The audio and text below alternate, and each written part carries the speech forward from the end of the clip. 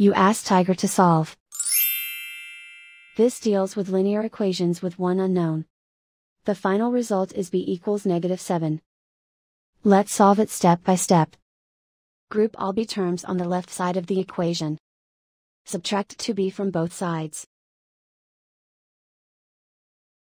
Group like terms. Simplify the arithmetic. Group like terms. Simplify the arithmetic.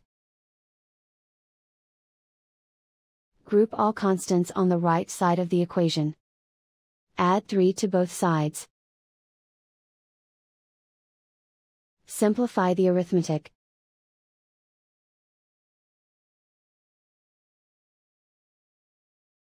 Convert the b into a positive number. Multiply both sides by negative 1.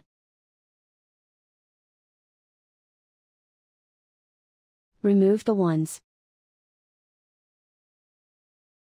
Simplify the arithmetic.